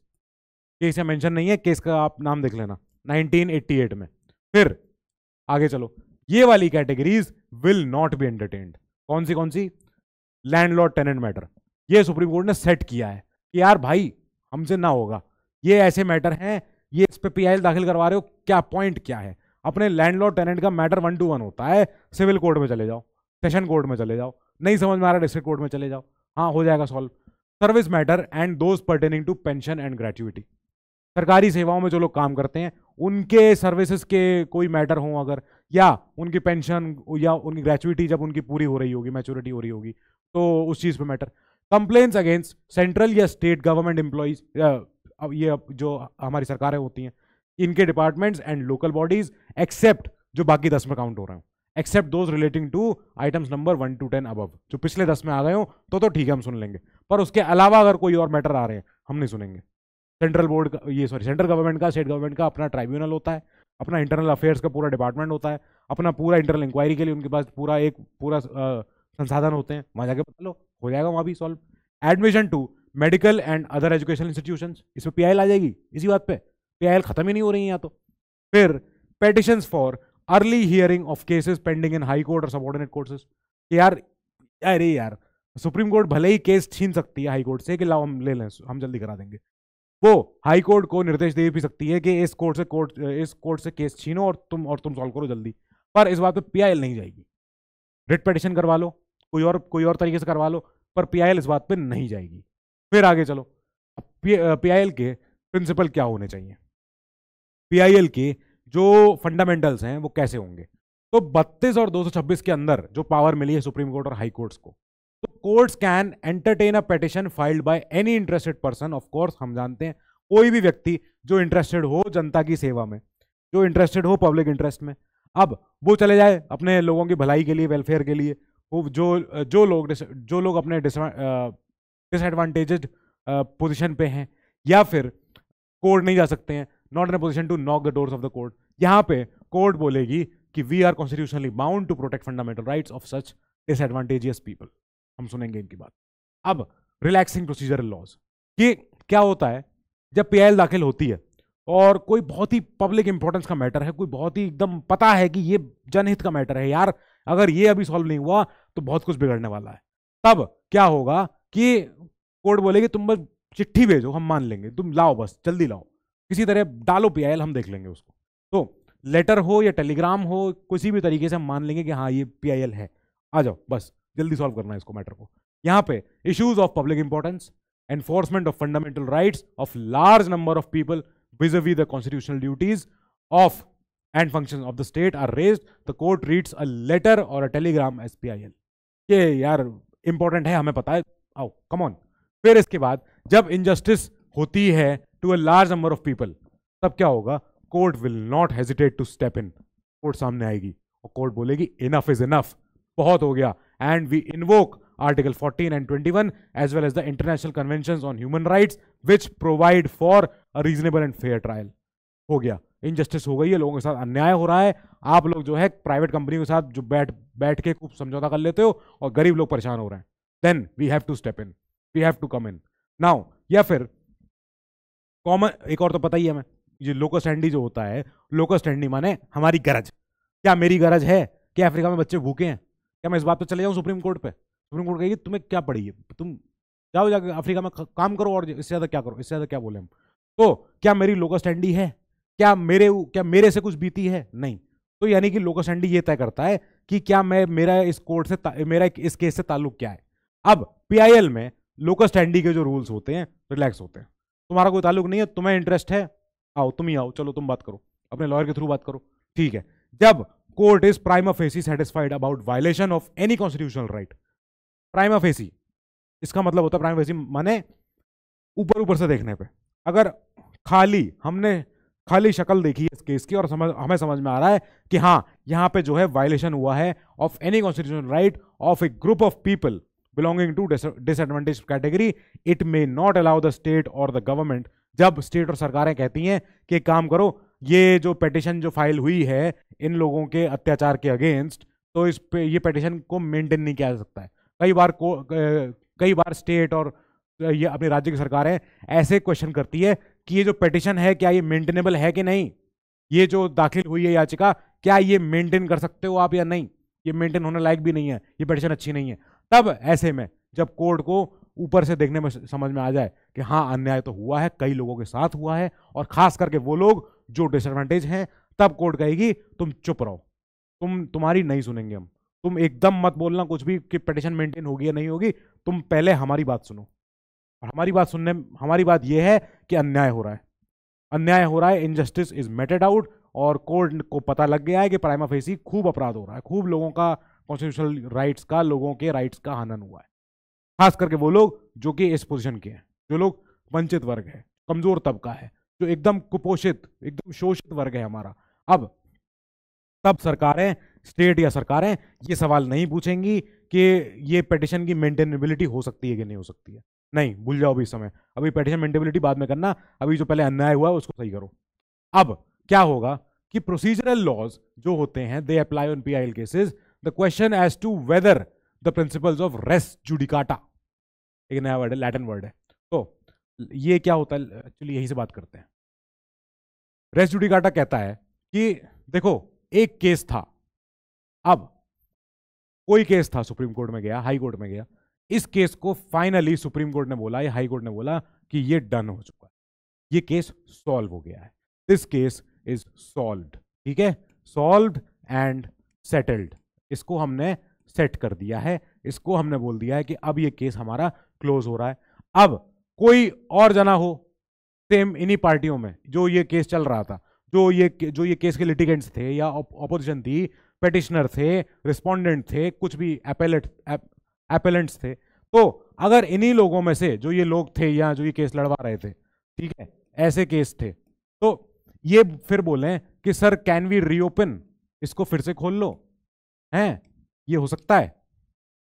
नो नो जब एक बार हमने केस को सॉल्व कर दिया, एक बार हमने उस केस को वेल well सेटल कर दिया, हमने बोल दिया कि यार दिस इज़ नाउ फाइनल तो ये क्यों हुआ है? This is need of finality कि जुडिशरी की एक चाहत है जुडिशरी की एक नीड है कि केस को उसके क्लोजर तक लेके जाए। फाइनलिटी क्लोजर अब अगर ये ऐसे बार बार खुलता रहा, ऐसे ही बार बार ओपन होता रहा, रीओपन होता रहा, तब कभी फाइनलिटी नहीं आ पाएगी, तब कभी भी ऐसे क्लोजर नहीं आ पाएगा, कभी भी कोई भी केस सॉल्व कभी हो ही नहीं पाएगा। इसलिए एक प्रिंसिपल है res judicata this means case is settled and will not be open again अब क्या होता है कि भले प्रोसीजरल लॉज जो पीआईएल पे अप्लाई होते हैं, वो the question as to whether the principle of res judicata और principles analogous there to would apply depend on the nature of petition and also facts and circumstances of the case ये res judicata ये कहती है कि case दोबारा open नहीं होगा, क्योंकि हमें चाहिए नीड ऑफ़ फाइनैलिटी ठीक है? हमारी एक फाइनलिटी हमारे क्लोजर पाने की एक चाहत है। जुडिशरी का एक जिसे कहते हैं मोटो है कि हम जितने डिस्प्यूट हैं, उनको सॉल्व करें, छुट्टी करें, खत्म करें सेटल करें पोजिशन ऑफ़ लॉ को। तो अगर ये नहीं हो पाया तो पॉइंट ही क्या है? फिर तो केस कोई कभी कभी कोई बंद नहीं हो रहा है। अब पीआईएल में हम ये कह रहे हैं कि जब पीआईएल दाखिल हुई और पीआईएल में देखा गया कि क्या यहाँ पे रेस जुडिकाटा या कोई और प्रिंसिपल एनालोगस प्रिंसिपल लग रहा है इस पर क्या लग रहा है? ठीक है। अगर लग रहा है, हमको समझ में आ रहा है कि यार हमने इसको पहले सॉल्व कर रखा है। पर हमने पीआईएल को पढ़ा। हमने कहा पीआईएल का जो नेचर है और फैक्ट जो भी है इस केस के सर्कमस्टांस जो भी है इस इशू के, ये टिपिकल है। ये इंपॉर्टेंट है। भले ही डिफरेंट ना हो, हम बिल्कुल नहीं कह रहे कि डिफरेंट है। हम कह रहे हैं सेम प्रिंसिपल है, ऐसा ही केस पहले आया था, भाई दस साल, पंद्रह साल पहले, हमने उसको वहाँ सॉल्व किया था उसको। वो हो चुका सॉल्व अब हम कह रहे हैं कि लेकिन नहीं, जो सर्कमस्टांस हैं, जो आज का समय है, यहाँ पे इस पिटिशन में डिमांड है कि हम जनहित में इसको दोबारा से पढ़ें। तब यहाँ पे क्या होगा कि पीआईएल के लिए फिर से सुनवाई होगी। पीआईएल के लिए फिर से उस पर चर्चा हो सकती है।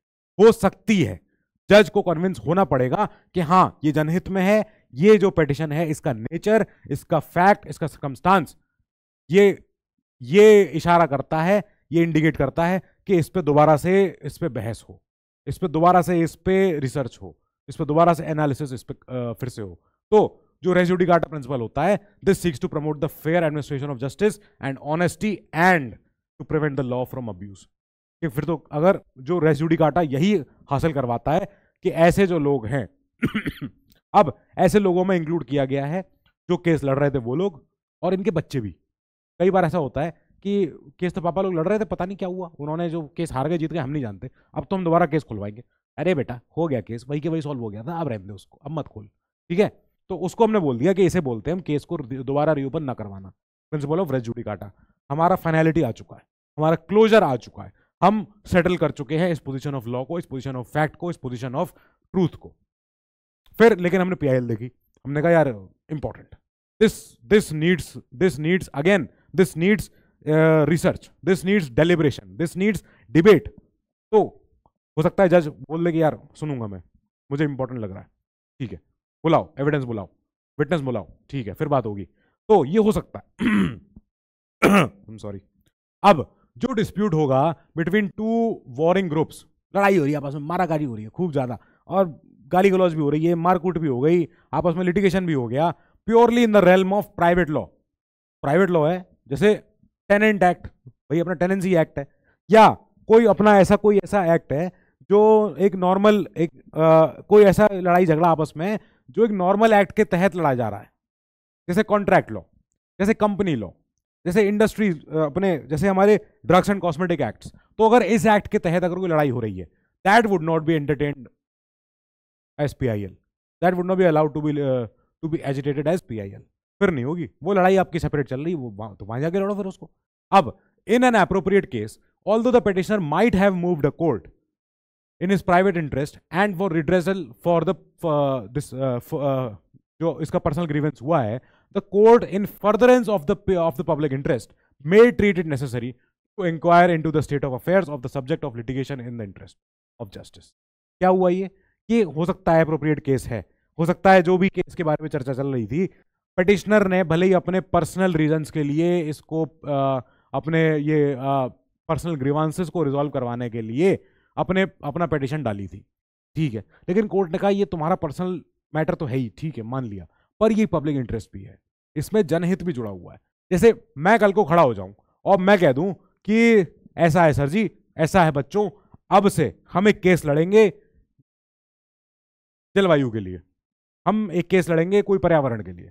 ठीक है और मैं कह दूँ कि नहीं नहीं सर जो है क्या है कि मुझे ना बहुत ज़्यादा सफोकेशन हो रहा है मुझे बहुत ज़्यादा एयर पोल्यूशन हो रहा है और मेरे साथ बहुत ज़्यादा अपराध हो रहा है ये हो रहा है वो हो रहा है। अब मैं जिस आ, मैं जिस एरिया में रहता हूँ वहाँ पे क्या है कि बहुत सारे डीजल जनरेटर हैं सब कुछ है तो बहुत पोल्यूशन हो रहा है। कोर्ट कहेगी हाँ ठीक है तुम्हारे साथ अनिति हो रही है पर तुम्हारे अलावा ऐसे वहाँ पे दो हज़ार लोग और भी रह रहे होंगे। मैं कहूँगा हाँ कि बोलेंगे तो वो क्यों नहीं आ रहे? कहूँगा सर पता नहीं सर उन्हें दिक्कत नहीं होगी मुझे दिक्कत है। फिर क्या होगा? ऐसे में बोलेंगे, आदित्य, अपने साथ और लोगों के भी, और लोगों का भी जनहित जुड़ा हुआ है। ठीक है? हम सबका जनहित याद करते हुए हम इस केस को सुनेंगे। ठीक है? ये हो सकता है। Now court in special situation may appoint commission और other bodies of inquiry for the purpose of investigating into the allegation and finding out facts हो सकता है। अब पीआई दाखिल हुई है। अब इसके बाद मैंने कह दिया कि सर, जनरेटर बहुत चलता है यहाँ पे, डीजल बहुत खर्च होता है यहाँ पे, बहुत ज़्यादा एसपीएम और बहुत ज़्यादा यहाँ पे जो है ए क्यू आई गंदा है सस्पेंडेड पार्टिकुलेट मैटर बहुत हाई है, यहाँ पे टू पॉइंट फाइव टेन सारी चीज़ें हैं यहाँ पे पी एम वी एम तो इसको जो है इसको सही किया जाए। अब ऐसे में क्या होगा, एक कमीशन हो सकता है, एक किसी जज के अंडर एक कमीशन बना दिया जाए। सुप्रीम कोर्ट हाई कोर्ट बोले, कि ऐसा है, सुनो, हम एक कमीशन आयोग का गठन कर रहे हैं। आयोग में होंगे एक जस्टिस एक एनवायरमेंटलिस्ट एक साइंटिस्ट एक फलाने दिमागे जो भी सारे, और ये सब के सब स्टडी करेंगे, कि आपने जो फैक्ट दिए हैं सच है कि नहीं। और फैक्ट और भी कुछ मिल जाए तो हमें नहीं पता, क्या पता। Now court may also direct management of public institution taken over by such commission कोई सरकारी संस्था ही चल रही थी। मान लो मेरे घर के बराबर में एक रिफाइनरी है इंडियन ऑयल की। हमारे रिफाइनरी से 24 घंटे वहाँ से धुआँ, आग निकलती है। क्योंकि वहाँ की जो, अगर आपको फैक्ट पता हो तो क्या हो सकता है किसी को नहीं पता हो, जो कई सारी रिफाइनरियाँ होती हैं, जहाँ पेट्रोलियम जहाँ पे रिफाइन होता है तो वहाँ की चिमनियों में हमेशा आग, आपने एक आग जलती हुई देखी होगी। आग प्रॉपर लपटें निकलती रहती हैं। क्यों? क्योंकि वो जो गैसेस निकल रही है ना, वो गैसेस को कम्बस्ट होके ही बाहर जाना चाहिए। अगर वो कम्बस्ट होके नहीं गई तो ज़्यादा नुकसान है। इसलिए उनको जला के भेजते हैं उस चिमनी से। अब वो चिमनी, वो हर समय जली रही है वहाँ से। तो वहाँ से सी निकल रहा है, वहाँ से सल्फ़र डाइऑक्साइड निकल रही है, वहाँ से कोई CO गैस निकल रही है, कोई और सा हाइड्रोकार्बन निकल रहा है, बहुत नुकसान हो रहा है। तो अब उस पर हो सकता है, उस सरकारी संस्था पे इंडियन ऑयल है, वो तो सरकारी है। खैर सरकार सुप्रीम कोर्ट कह सकती है, ये जो हमने कमीशन बनाया है, जो इसकी स्टडी करने जा रहा है, अभी इसका मैनेजमेंट भी संभालेगा। जब तक ये जब तक ये चीज़ सॉल्व नहीं हो रही, जब तक ये चीज़ आगे इसको सही तरीके से हम डील नहीं करते, तब तक ये जो कमीशन हमने बनाया है, इस कमीशन का ज़िम्मेदारी है कि जाके इस इस पूरे पब्लिक इंस्टीट्यूशन को संभाले। अब इसको अब इसको टेक ओवर करें। ठीक है। The court will not ordinarily transgress into a policy court नीति बनाने में पॉलिसी स्कीम बनाने में अपना पैर ना घुसाए। अपने आप से पीआईएल का एक फीचर है प्रिंसिपल भी है कि यार कोर्ट का ये काम नहीं था। कोर्ट का ये काम नहीं है कि यार अपने आप से जो है कानून भी बना रही है, कानून तोड़ रहा है, उसको अरेस्ट करके उसको सजा भी दिलवा रही है खुद ही से। अलग ही सुपर लेजिस्लेचर बन गया हमारे यहाँ भी। नहीं it shall also take utmost care not to not to transgress its jurisdiction while purporting to protect the rights of the people of from being violated कि जब लोगों के अधिकार का हनन हो रहा है। ठीक है, मान लिया, बहुत खराब बात हो रही है। अब कोर्ट को अपने जूरिस्डिक्शन के बाहर जाके नहीं करना है। जो काम पार्लियामेंट का है पार्लियामेंट के पास रहेगा। जो काम एग्जीक्यूटिव का है, वो एग्जीक्यूटिव के पास रहेगा। अपना जूरिस्डिक्शन जो आपका क्षेत्राधिकार है प्लीज़ आप उसी का ख्याल कर लें, उतना ही बहुत है। ठीक है? अब, इसके बाद court would ordinarily not step out of the known areas of judicial review जो जुडिशियल रिव्यू की अब तक की जो सीमाएँ थी वही वही फॉलो होंगी और उसके अलावा आगे उसके, उस समीक्षाओं को ज़्यादा उसको लांगो मत, उन सारी रेखाओं को। जो समीक्षा आप करते आए थे, वही समीक्षाएँ करो, वही रिव्यू करते रहो, वो अच्छा लगता है, उसके ऊपर नहीं। The high court high court के पास भले ही हाई कोर्ट के पास पावर ज़्यादा होती है। जब हाई कोर्ट चैप्टर आएगा, तब मैं पढ़ाऊँगा कि 142 वाली जो पावर होती है, जो सुप्रीम कोर्ट के पास होती है, वो अलग होती है। ठीक है? The high court although may pass an order for doing complete justice to the parties it does not have power akin to article 142 of the constitution 142 article supreme court के लिए है। अब वो 142 जो है बहुत ही भयानक आर्टिकल है। सुप्रीम कोर्ट की पावर दिखाता है वो। ऐसी पावर हाई कोर्ट के पास नहीं है। पर हाई कोर्ट के पास अपना ऑर्डर पास करने की ये पावर है कि वो कंप्लीट जस्टिस कर सके। रिट रिट जुरिस्डिक्शन के तहत। वो पूरी पूरी तौर से न्याय पूरा हो जाए कंप्लीट हो जाए उसके ऊपर हाई कोर्ट अपना आ, अपना ऑर्डर जो है पारित कर सकता है। नाउ ऑर्डनरीली नॉर्मली क्या होगा? High court should not entertain a writ petition by way of PIL क्या हुआ ये? ये क्या बोला मैंने? क्या जो कोई रिट पिटिशन होती है, जैसे एक केस है एमसी मेहता भले ही केस तो गया सुप्रीम कोर्ट ठीक है। पर क्या हुआ कि MC Mehta the union of India ठीक है? अब ऐसे में क्या हुआ कि ये केस तो गया रिट पिटिशन के थ्रू ये केस पीआईएल नहीं हुआ था। जो ताज ट्रेपेजियम केस है। अब हाईकोर्ट्स को नॉर्मली रिट पिटिशन वाले केस पीआईएल से नहीं लेने चाहिए। ठीक बात है। क्वेश्चनिंग कॉन्स्टिट्यूशनलिटी और वैलिडिटी ऑफ़ अ स्टैट्यूट और अ स्टैट्यूटरी रोल नहीं होना चाहिए इनको। क्या पता ले सकते हो? क्या पीआईएल रिट होती है? ये क्वेश्चन आया। अब, जो पीआई जब जो, अब ये जो रिट है, writ is a written command given by a court ये पता था हमको कि रिट जो है पाँच तरीके की रिट होती हैं। अब they are used for enforcing an action और stopping an action from happening ये भी पता है हमको। Habeas corpus mandamus quo warranto certiorari prohibition सारी की सारी। हेयर यहाँ पे क्या होगा? जो पेटिशनर होगा इज़ टिपिकली द इंडिविजुअल और group whose fundamental rights are violated ऐसी एक रिट है, जो पीआईएल की तरह काम करती है। भले ही मैं एग्रीव्ड नहीं हूँ, पर मैं भी जा सकता हूँ सुप्रीम कोर्ट किसी और के ग्रीवेंस को सॉल्व करवाने। याद है ना वो कौन सी रिट है? Need the name now PIL यहाँ पे is a form of writ with one specification क्या है यहाँ पे? यहाँ पे PIL is related to the general public well being general बड़ी तादाद में जनरल पब्लिक आराम से पूरा पूरे कलेक्टिव राइट्स की बात हो रही है यहाँ पे। ठीक है?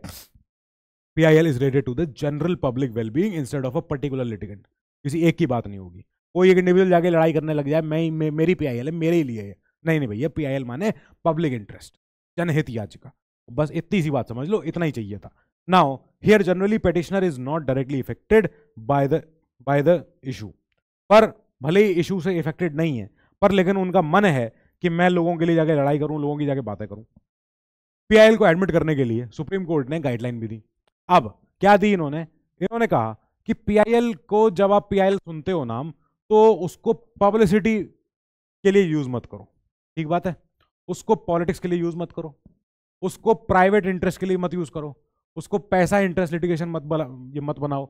उसको मिडिल क्लास इंटरेस्ट लिटिगेशन मत बनाओ। क्योंकि क्या हो रहा है, जो लोग हैं, वो मिडिल क्लास के नाम पे चले जा रहे हैं सुप्रीम कोर्ट बिना बात के लिए।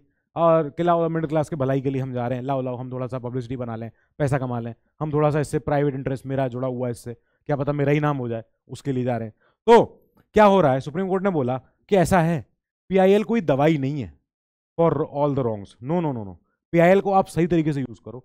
PIL it essentially means to protect basic rights of the weak and disadvantage people जो लोग बेचारे कमज़ोर तबके के लोग थे, जो वंचित वर्ग था, हमारा बार बार कह चुके हूँ मैं now there have been in recent times increasingly instances of abuse of PIL जैसे आपको एक केस बताऊँ। आगरा के एक प्रोफेसर थे। बहुत पुरानी बात हो गई, सन 2001 की बात है ये। तो उसमें क्या हुआ? वो जो साहब थे, वो प्रोफेसर साहब पी एन ओका शायद नाम था उनका। तो वो क्या हुआ? वो गए सुप्रीम कोर्ट ये बोलने ये कहने कि जो ताजमहल है ये तेजो महलय है या ये जो है ये बहुत पुराना आ, ये शाहजहां ने नहीं बनाया था ये बहुत राजपूतों का बनाया हुआ किला था ये था वो था उन्होंने ऐसा कुछ लिख दिया कि प्लीज़ आप घोषित करो कि ये पीआईएल है कि ये ये ताजमहल नहीं हो ये कुछ और हो। ये ये अब्यूज़ है। सुप्रीम कोर्ट ने कहा कि पढ़ा पीआईएल ऐसा फेंक दिया। ठीक है। अब उसके बाद उन्होंने कहा कि मज़ाक मत बनाओ पीआईएल का। हम मेहनत कर रहे हैं लोगों की भलाई के लिए, तुम जाने क्या ही, तुम तो अलग ही अपना गेम खेल रहे हो। उनको प्रोफेसर हो तुम एनसीईआरटी पढ़े हो कि नहीं?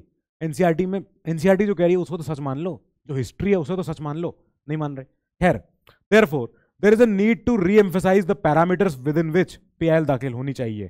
P can be resorted to by a petitioner and entertain by the court क्यों हर कोई पी हर जगह पी पड़ जाए, किसी बात पे पी पड़ जाए, ये गलत है। अब क्या है?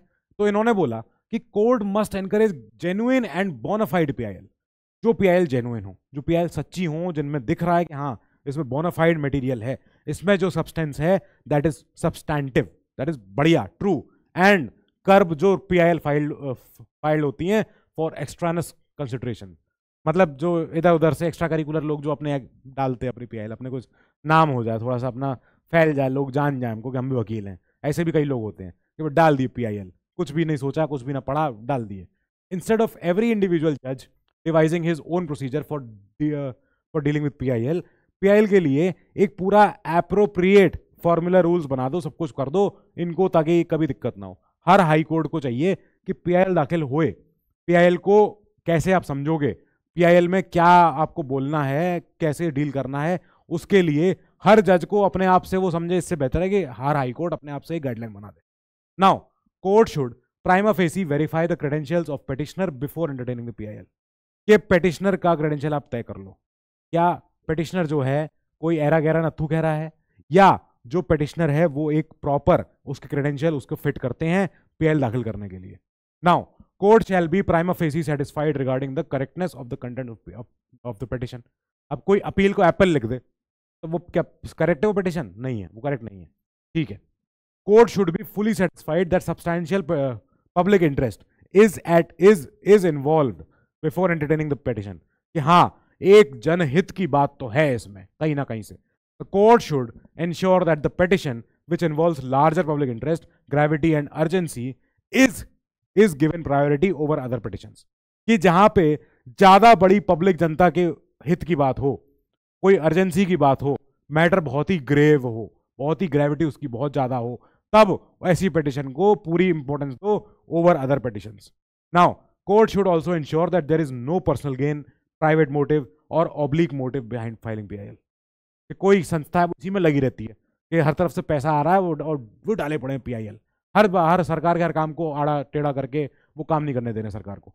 तब इसको समझो आप इस चीज़ को कि क्या उनका कोई अल्टीरियर मोटिव है? क्या उनका कोई प्राइवेट मोटिव है? क्या उनका कोई पर्सनल गेन है उससे पीआईएल से? तब ये ये समझना पड़ेगा।